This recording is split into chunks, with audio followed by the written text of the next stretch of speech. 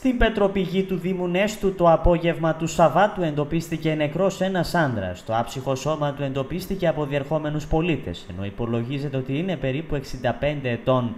Νεκρός εντοπίστηκε 65χρονο άντρας, ο οποίος ήταν κάτοικος γέροντας σε αυτό το σημείο που μπορείτε να δείτε και εσείς από πίσω μου. Ο 65χρονο είχε χαθεί τις προηγούμενες μέρες και σήμερα δυστυχώς βρέθηκε νεκρός σε αρδευτικό κανάλι, το οποίο βρίσκεται σε μια απόσταση περίπου 7 μέτρων από τον κεντρικό δρόμο.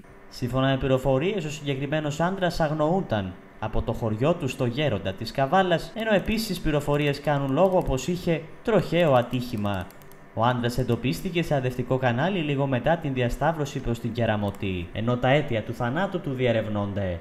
Ε, κληθήκαμε στις 7 ε, και 10 περίπου από την ε, αστυνομία να συνδράμουμε για την ανάστηση νεκρού ατόμου από κανάλι αρδευτικό το οποίο ήταν πλησίον του χωριού Πετροπηγής. Μετέβηκε όχημα της υπηρεσίας με τέσσερα άτομα, έγινε η ανάστηση του ατόμου αυτή ήταν, αυτό ήταν το συμβάν. Και ήταν η αστυνομία τον παρέλαβε τον άνθρωπο, mm. ήταν στο σημείο.